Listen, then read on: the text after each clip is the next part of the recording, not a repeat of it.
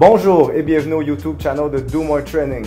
Toujours en compagnie de Samuel Plouffe, consultant en nutrition et kinésiologue. Bonjour Sam. Bonjour David. Dans notre première saison, on a élaboré beaucoup la problématique de la nutrition moderne, mais de manière assez générale. Ouais. Suite à ça, on a reçu beaucoup de questions, euh, assez intéressantes aussi. Puis on a choisi quelques-unes pour formuler notre deuxième saison. Et une des questions qui est revenue très souvent, c'est quels sont les meilleurs aliments euh, pour la prise de masse? Donc j'aimerais ça que tu élabores un petit peu sur cette question-là. Pour la prise de masse musculaire, OK, on pense aux protéines. Euh, évidemment, les protéines, c'est un élément qui est clé euh, pour la prise de masse musculaire, mais aussi les minéraux, OK? Et puis, donc, ces alternatives-là aussi que j'ai aujourd'hui, qui sont naturelles, ils sont tous à base de protéines, de- de- d'acides aminés, mais ils vont contenir des minéraux très importants. Donc, j'ai tout d'abord les noix. Les noix, euh, c'est une belle alternative qui va être un petit peu plus facile à la digestion euh, versus, par exemple, euh, une viande, donc les produits animaux.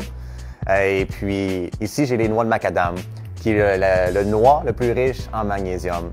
Le magnésium, c'est super intéressant pour faire en sorte que la cellule soit en mesure, si on veut, d'absorber les acides aminés OK. qui vont régénérer nécessairement les tissus musculaires, donc la prise de masse musculaire. OK. Au niveau de la quantité que tu suggérais, post-workout, Ça va dépendre encore là de l'individu. Tu si c'est un homme, si c'est une femme, si au niveau de la- sa, son- sa taille.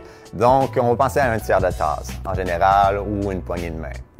Ensuite, j'ai les légumes verts feuillus. Les légumes verts feuillus euh, qui vont être très riches en oli- oligo-éléments, donc des, euh, des, des minéraux comme le zinc, le calcium.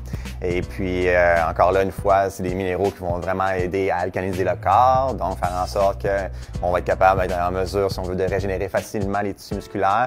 On peut penser aussi euh, au slogan ou à Popeye, hein, autrefois, quand on voulait bon, les, les gros bras et tout ça.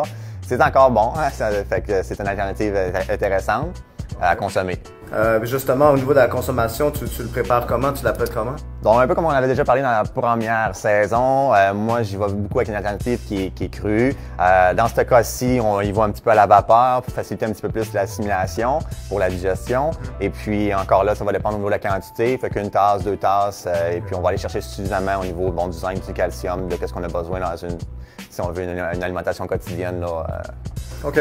Et le dernier aliment, les fruits? les fruits, oui, les fruits. Donc, euh, ici, j'ai les bananes, très, très riches en potassium, super important pour faire en sorte qu'on régénère le système, puis faire en sorte qu'on récupère bien.